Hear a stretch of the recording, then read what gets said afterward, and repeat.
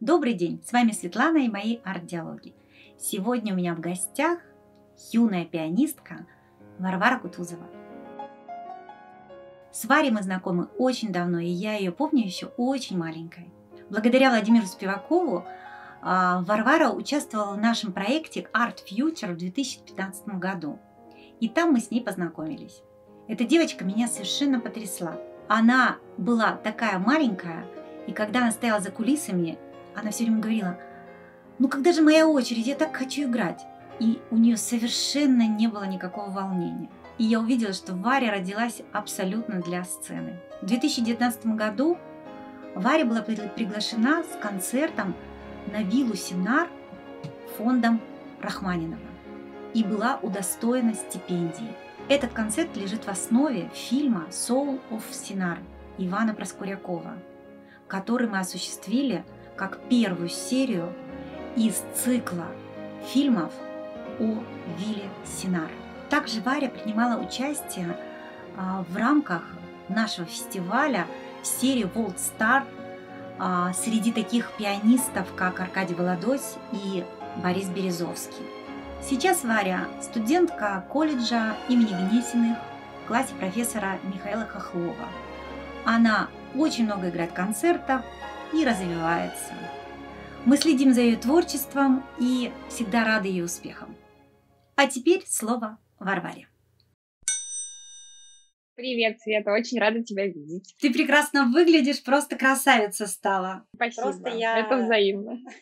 Год локдауна, год э, коллапса в культурной жизни. Чем он для тебя стал?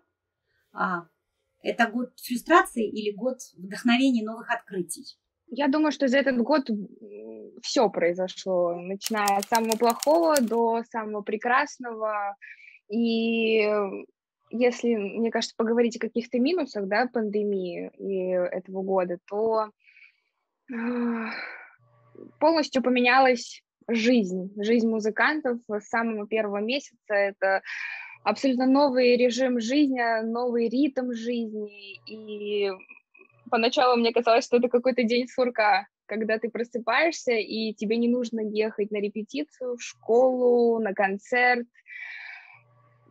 И я как-то поначалу не понимала, что сейчас будет, хотя, хотя а, сразу же мне пришла мысль, что вот, наконец-то я сейчас выучу очень много программ, я займусь э, разными делами, но при этом я честно скажу, что спустя где-то три месяца когда ты живешь да, в заперти, а, я, я начала осознавать вообще, зачем мне это все нужно, а, потому что, признаться честно, я тот человек, который живет, мне кажется, ради выхода на сцену, ради контакта с публикой, а когда у меня это отобрали, то э, ты находишься в какой-то апатии в какой-то мере.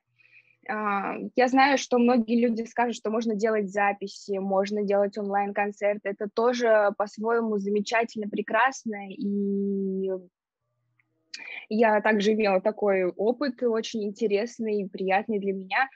Но когда ты без концертов сидишь, то для меня лично это было что-то очень страшное. И если бы у меня не было специальности, то мне кажется, я бы вообще впала в какую-то депрессию, честно говоря. Ну, кстати, если еще поговорить о том, что было в момент карантина, так это отмена концертов, да, а, потому что, допустим, у взрослых, э, так скажем, очень известных музыкантов э, концерты, ну, переносятся и, и переносились, а мы все-таки юное поколение, да, которое еще только начинает свой путь, и у нас в основном, конечно же, идут отмены, а не переносы концертов, и для нас, наверное, это всегда очень больно и шокирующе, потому что Uh, все, все ждут э, выхода на сцену, и для всех это, мне кажется, самое-самое главное в жизни, в жизни музыкантов, это uh, контакт с публикой, сам момент игры и этого, когда ты слышишь эту энергетику, которая идет из зала, как они тебя слушают, потому что все равно uh, через э, экран телефона ты не можешь понимать что сейчас происходит в зале. Также из минусов э, у меня умерла собака. А, так вышло, что а, мы вечерами выходили выгуливать собаку, это можно было по правилам, да, карантина. И наш пес всегда, ну, нас очень сильно любил, так же, как и мы его, и никогда от нас не убегал, то есть, и, по сути, машин не было на улице, и мы как-то в этой мере расслабились, и абсолютно спокойно могли его отпускать с нами гулять без поводка, потому что он никуда от нас не убегал. Это маленькая собачка, а, очень милая, очень добрая. Но как только снялись первые ограничения, я не знаю, что ему стукнуло в голову, он вдруг сорвался и побежал. А в этот день мы гуляли вместе с моим средним братом, и мы не смогли за ним угнаться. Потом на протяжении трех-четырех часов мы его искали по всему району, и э, по итогу его сбила машина. Поэтому я вот хочу сказать всем тем, кто слушает это интервью, а, что даже если у вас самая-самая преданная собака, я не советую вам отпускать э, с поводка, гулять без шлейки, а, если вы живете, конечно же, в крупных городах потому что, честно, я не могла, мы всей семьей до сих пор от этого ужаса не отошли. Вот, это тоже такой минус, который произошел на карантине. Если говорить про плюсы, то их было очень много. Во-первых, я а, как бы это странно не звучало, а, я как-то успела пожить бытовой жизнью, а, если раньше я могла ходить в продуктовый магазин как музей, вот честно, вот я признаюсь честно, для меня всегда поход в магазин был, я могла там пробыть час, ничего не найти, постоянно каждые три секунды звонить маме спрашивать, мама, где колбаса? То тут я уже настолько приноровилась, что я очень это делаю быстро, компактно, то есть за 10 минут могу все, что нужно купить. А также я научилась готовить, то есть самые банальные блюда я умею а, готовить, и часто теперь я делаю завтраки по утрам, э, которые с удовольствием э, ест моя семья. Да, также у меня появилась масса хобби. Я смотрела и фильмы, я читала книги об искусстве, также, конечно же, не нужно забывать о том, что была учеба, и она никуда не девалась. И если я поначалу думала, что обучение онлайн э, это что-то ужасное, то в моем случае, поскольку у меня индивидуальное э, обучение, то, в принципе, я ничего не потеряла. То есть, э, если раньше у меня, допустим, уходило время на дорогу, то теперь, э, конечно же, этого не было. Но также при этом есть минусы, потому что личное общение с педагогом это все равно абсолютно а, другое. А, я очень заинтересовалась искусством, то есть я даже сейчас читаю очень интересную энциклопедию об архитектуре, скульптурах, э, картинах. И вот в ближайшее время мы с моим педагогом по истории мировой культуры собираемся пойти в Третьяковскую галерею. Да, а, я придумала много интересных проектов, но я думаю, об этом я чуть попозже расскажу. Да. Ну, вот ты ответила на вопрос, как ты использовала свое время в изоляции. То есть я поняла, что ты открыла свои а, способности в кулинарном деле, то есть ты уже готовая хозяйка, можно сказать, э, тебя можно отпускать, мама может быть спокойная, чтобы тебя отпустить э, во взрослый мир, и она, так, да, и родители будут спокойны, что ты с голоду не умрешь, то есть ты сможешь себе приготовить. Всегда нужно с чего-то начинать, и э, я так понимаю, что вот этот период, те часы на дорогу, которые ты тратила, ты посвятила просто вот э, открытию своего таланта готовить. А, скажи, пожалуйста, а что ты любишь готовить? А, мне кажется, шедевр моей кулинарии – это банановые оладьи. Кстати, очень простой рецепт. Я, честно, могу по граммам не объяснять, как это делать, потому что я всегда делаю на глаз, это у меня, мне кажется, в маму пошло. А, нужно несколько бананов, а, парочку яиц, э, творог э, и овсяная вот каша, либо геркулес. Ну, можно чуть-чуть сахара, но это на любителя, кто если любит прям сладкие, сладкие оладьи. И все, и это так вкусно, и мало того, это и диетично. То есть у меня вся семья просто их обожает делать, что теперь, если вдруг э, у меня есть время утренняя, и мне не нужно никуда ехать, то мне папа, там, брат говорят, Варя, давай оладьи, и мне приходится делать реально большую гору, потому что все их с удовольствием съедают с вареньем, с сгущенкой, с кофе, потому что это очень вкусно.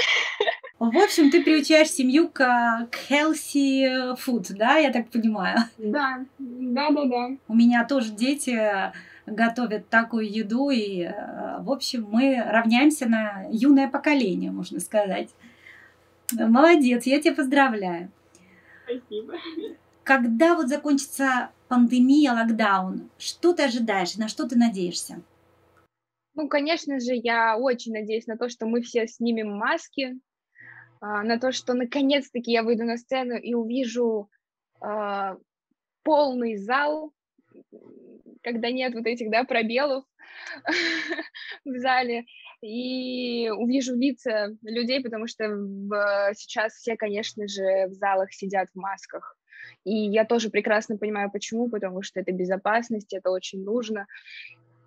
Вот, и также я очень надеюсь, что восстановится наш э, ритм жизни, который уже постепенно начинает идти в гору, по крайней мере, у нас в России э, это восстанавливается, да. Ну вот в этот период, э, который был э, таким закрытым периодом для тебя, что не было возможности ездить в таком плотном графике, как ты жила, я так понимаю, что это время ты посвятила изучению репертуара своего. Вот расскажи немножко об этом. Да, я, как уже и сказала, взялась, мне кажется, за все сразу. Потом уже как-то со временем я поняла, что это не самый лучший день, нужно делать все постепенно. А, вот, и да, действительно, я очень много чего нового стала учить из программы, и до сих пор учу. И вообще в ближайшее время, я думаю, вы все услышите эти новые программы которых я не очень хочу сейчас, э, э, которые я не очень хочу сейчас раскрывать, но скажу честно, я занималась не только новой программой, но и, если можно так выразиться, той программой, которую я уже играла, то есть старой программой, то есть я ее доводила в какой-то мере до ума, а, также находила что-то новое и очень много чего нового нашла и поменяла, и продолжаю менять, потому что я вообще считаю, что возвращаться к тем программам, которые ты играл, это очень важно, потому что с годами меняется видение, меняется, меняется понимание произведения, и это также, мне кажется, какой-то идет музыкальный рост. Если сказать о новом, то, ну, я выучила концерт Шостаковича второй, который уже не раз сыграла.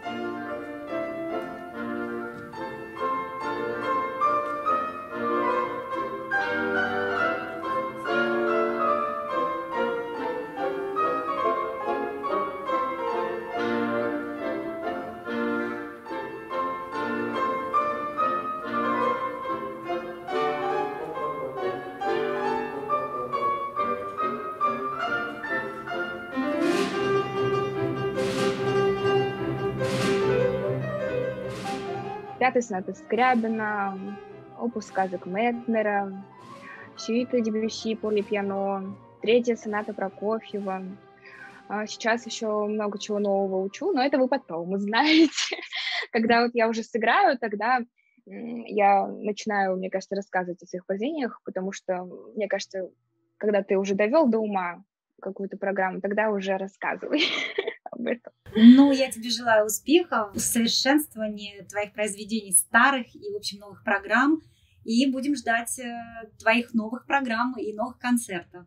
С, в общем, с нетерпением. Я думаю, что очень многие этого ждут. Как ты считаешь, как случившаяся ситуация вообще повлияла на мир искусства в целом? Вот есть у тебя вот такое вот мнение, вот если взять в целом искусство, вот как она повлияла? Ну, мне кажется, все как-то живут в своем больше ритме жизни, но я что точно могу сказать, что все стали осваивать онлайн-технологии, концерты, онлайн-интервью, а, онлайн-лекции, онлайн-поход в музей, то есть э, очень много чего перешло в онлайн-формат. Кто-то, наоборот, э, взлетел, так скажем, да, у кого-то случился, ну, если можно так говорить, карьерный рост, кто-то, наоборот, кого-то, наоборот, все стало плохо, и я знаю, что с концертами стало все очень туго, потому что когда, опять же, пошли отмены, и ты дальше звонишь, да, созваниваешься с филармониями, а, с менеджерами, то все говорят о том, что они не знают, что будет дальше, и непонятно, что будет дальше происходить, и вернется ли вообще формат концертов. То есть мы же жили в такой, можно сказать, в панике, как ни крути. А, но мне кажется, что несмотря на вот этот год без э, концертов, да, э, все постепенно должно восстановиться, на круги своя вернуться, э, я очень это надеюсь. Ну, а так, мне кажется, все пережили большой стресс все-таки, когда случился карантин. Мне кажется, тут э, меньше плюсов, чем минусов.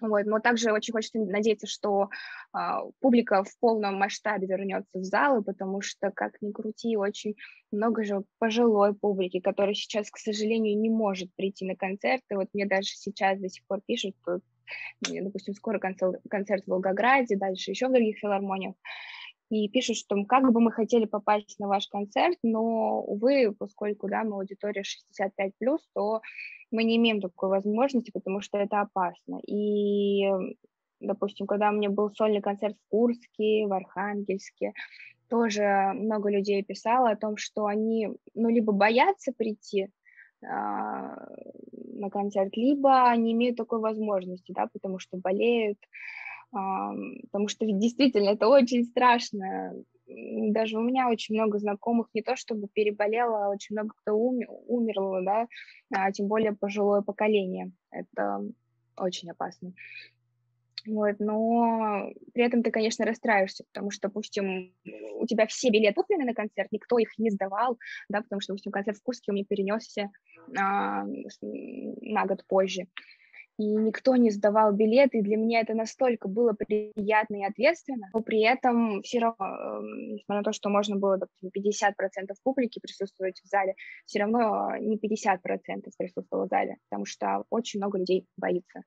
И я очень надеюсь, что этот период боязни пройдет, все как-то нормализуется, и мы снова будем спокойно посещать выставки, музеи, театры, а, концертные залы, и все заработает так же, как и раньше. Но при этом также для музыкантов было много плюсов, и мы могли взяться за новые программы, что-то переосновать, переосмыслить, да, а, перестать э, в какой-то, опять же, как Света ты сказала, гонки, да, что вот от одного концерта к другому. Какие новые форматы ты открыла для себя и где ты ищешь вдохновение? Да, действительно, очень много форматов э, и проектов мне пришло в голову во время того, как я заседала дома. А, я вообще с детства, помимо того, что очень люблю музыку, а, очень любила и люблю по сей день смотреть разные интервью с известными личностями. А, честно, мне кажется даже, что я люблю больше смотреть интервью, чем нежели какие-то фильмы и сериалы. И тут мне в какой-то из дней, я даже, по-моему, помню, то ли 28 марта, да, 28 марта мне пришла идея о том, что, может быть, мне придумать э, онлайн-проект, который называется «Антивирусный марафон». И позвать туда а, наших прекраснейших, известнейших музыкантов и творческих людей из мира искусства. А, честно, поначалу, когда мы об этом разговаривали с моей мамой, мы думали, что ничего не выйдет, потому что, опять же, я не профессиональный интервьюер. Ну и также передо мной не стояла задача брать какое-то такое масштабное у каждого интервью о чем-то высоком, о высокой да, музыке, то есть чтобы это не было э, чем-то таким тяжелым. Потому что я, когда смотрю интервью, мне иногда приходит мысль, вот интересно, а что же вот э, любит больше, да, вот этот э, музыкант или известная личность, горы или море? Ну, ты же так просто на телевидении это не можешь спросить. А тут, когда мы все сидим в домашней обстановке, в домашней атмосфере, то это такая беседа не только о музыке, но и вообще о жизни, потому что также у меня было две коронные игры э, или-или, да, где я могу спросить, да, что же тебе больше нравится, допустим, пломбир или чизкейк, э, и немного при этом ты ставишь в ступор человека. И также поговорить о том, насколько хорошо музыкант помнит э, о своей биографии, что в какие годы у него происходило.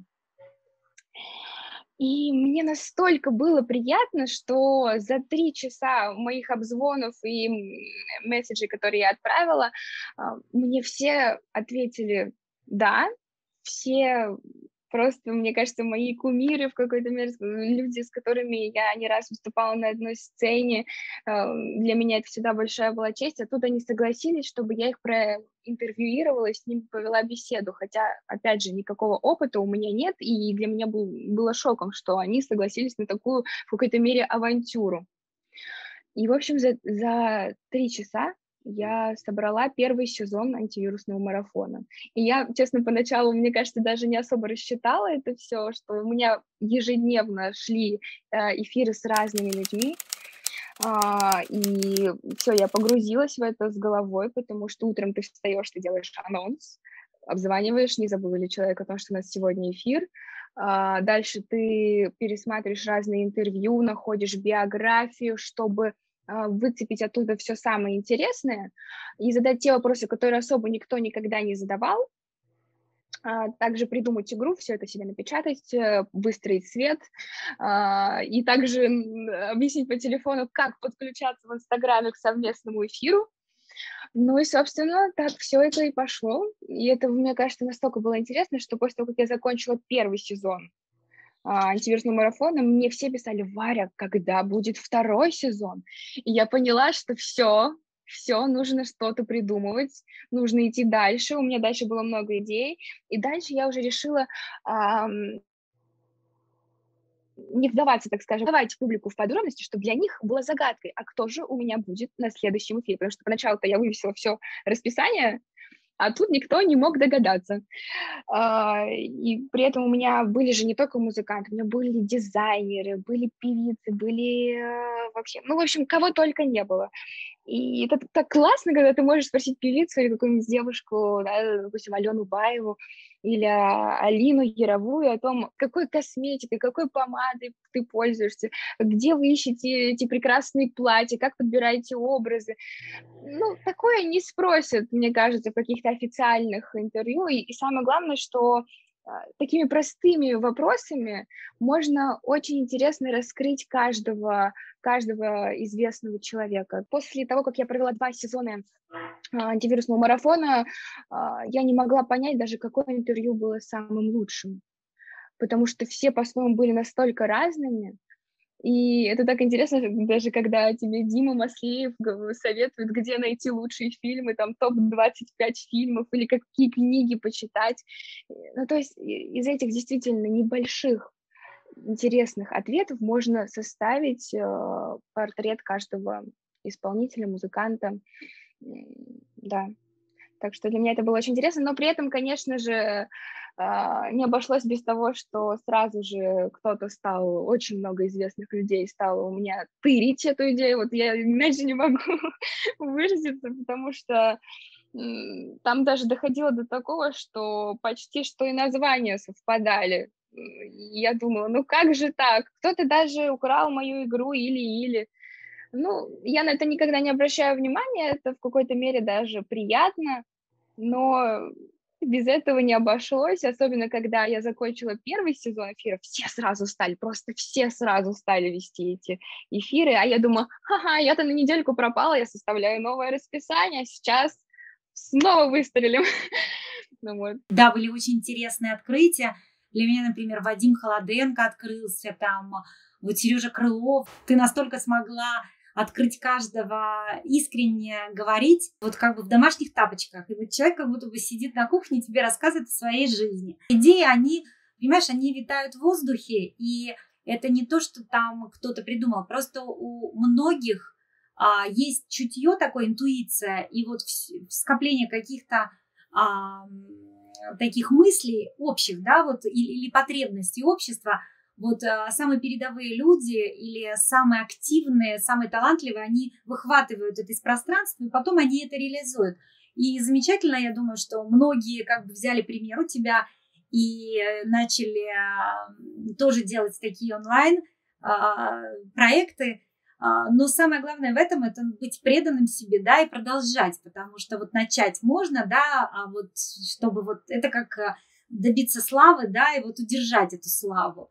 Вот, наверное, это самое сложное, потому что я знаю, чего это стоит, сколько это времени, сколько это ответственности, и параллельно ты же ведь училась, ты же еще занималась, ты не то, что ты там сидела в отпуске и тебе нечего было делать, и ты вот э, сидела только этим занималась. То есть я представляю, как тебе это было сложно, и, да. Мне многие друзья, кстати, многие друзья сказали, Кутузова, тебе вообще, как всегда, на месте не сидится, ты дома даже по-человечески не можешь просто поваляться, потому что действительно получалось такое расписание, что учеба, дальше, кстати, я забыла, чуть не забыла рассказать о еще одном проекте, это Значит, мы с искусствоведом Сергеем Хохловым а, придумали такой небольшой проект. Это запись э, цикла Прокофьева, 10 пьес, опус 12.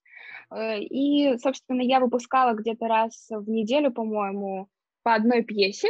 А, сначала Сергей рассказывал о ней, да, а, откуда она взялась, что это за пьеса, то есть раскрывал детали э, и видение на произведение. И дальше уже я, собственно, играла. И несмотря на то, что мы находились в разных точках Москвы, да, все равно это какой-то был ансамбль. И в итоге папа потом это все дело монтировал, и мы также это выпускали, и это очень было интересно смотреть разным детям, педагогам, и то есть мне очень много педагогов писало, потому что, Варя, спасибо большое, что ты такое делаешь, потому что мы сами все сейчас сидим на онлайн, и э, очень много педагогов это включало в свои уроки с детьми, вот эти пьесы. Да, тоже очень хороший опыт. И несмотря на то, что, конечно, у меня не самый лучший инструмент, а, и он вообще во время карантина все к концу цикла все больше расстраивался, но это нам никак не помешало. То есть это такой просветительский, скажем, проект для да. молодых людей, для, для школьников, которые вот в этот момент э, тоже были заперты, без концертов, без чего-то. То есть вы придумали, молодцы. Я тоже несколько смотрела, это было замечательно. Умничка. Спасибо. Да. Сергей Прокофьев. Гавот. Исполняет Варвара Кутузова.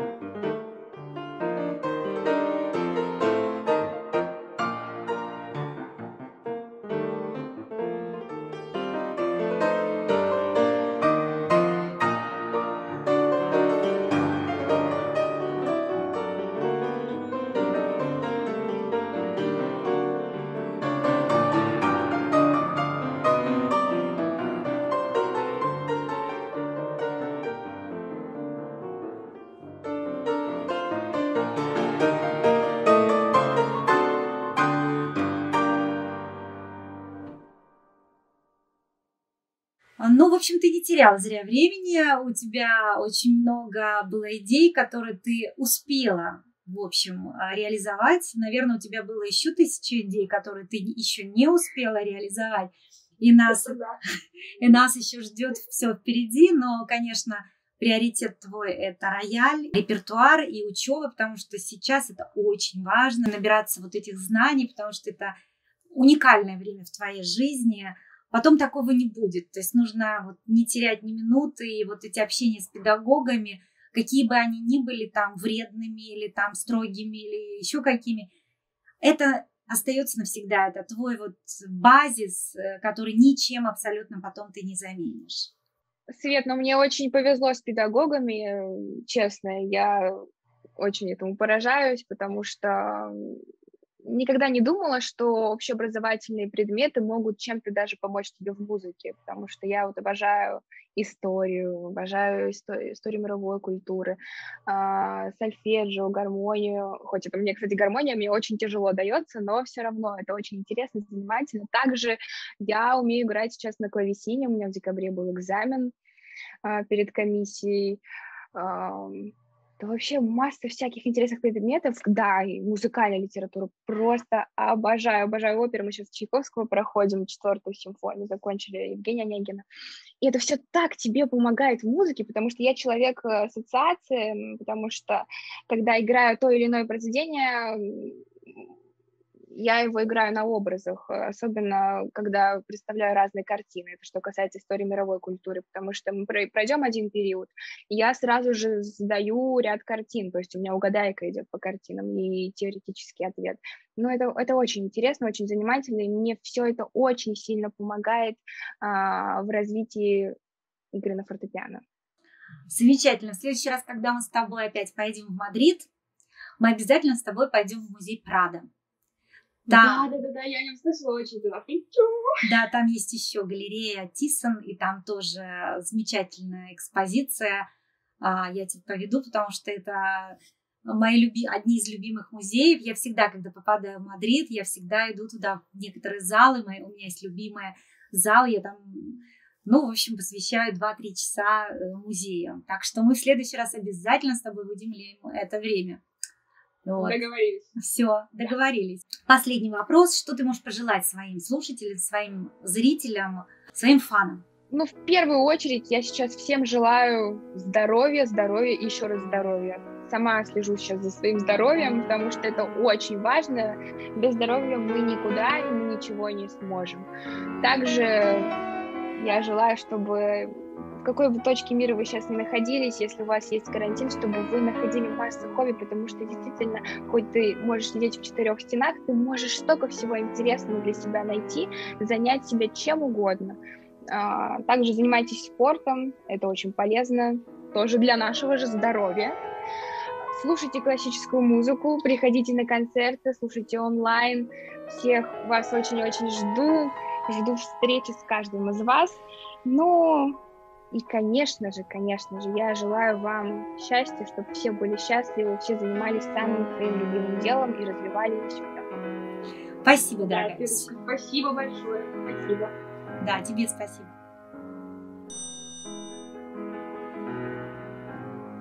Беседа получилась по-домашнему, искренней и теплой.